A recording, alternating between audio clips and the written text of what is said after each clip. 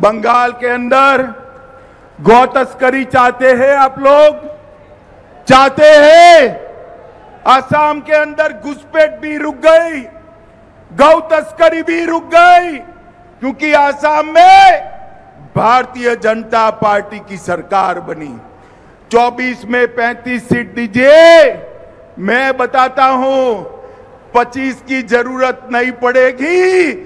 25 के पहले ही ममता दीदी की सरकार कड़ड़ भूस हो जाएगी और मित्रों, एक बार बंगाल में कमल खिलाइए, ना बम धमाके होंगे, ना रामनवमी पर हमले होंगे, ना अत्याचार होगा, ना घुसपैठ होगी, ना गौ की तस्करी होगी।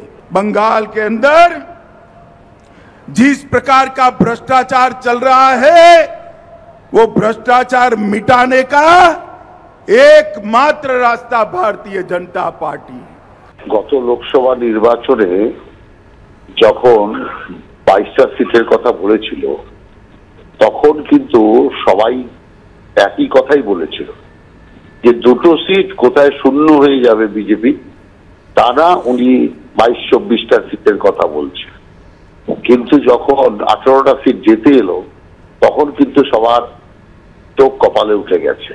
সেই কারণের জন্য আপনার বলার জন্য বলা, বিরোধিতা করার জন্য বিরোধিতা করা, সেটা এক জিনিস আছে, বাস্তব বিষয়টা আরেক জিনিস আছে।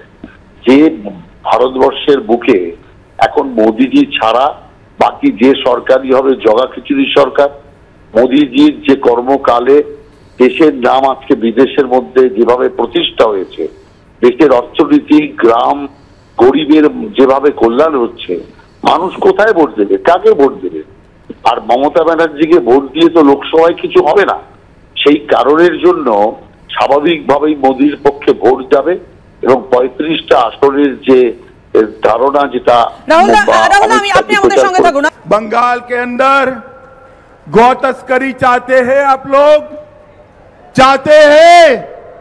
असम के अंदर घुसपैठ भी रुक गई गौ तस्करी भी रुक गई, क्योंकि आसाम में भारतीय जनता पार्टी की सरकार बनी। 24 में 35 सीट दीजिए। मैं बताता हूँ 25 की ज़रूरत नहीं पड़ेगी। 25 के पहले ही ममता दीदी की सरकार कड़ड़ भूस हो जाएगी।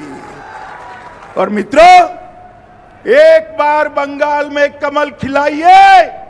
ना बम धमाके होंगे, ना रामनवमी पर हमले होंगे, ना अत्याचार होगा, ना घुसपैठ होगी, ना गौ की तस्करी होगी। बंगाल के अंदर जिस प्रकार का भ्रष्टाचार चल रहा है, वो भ्रष्टाचार मिटाने का एकमात्र रास्ता भारतीय जनता पार्टी है।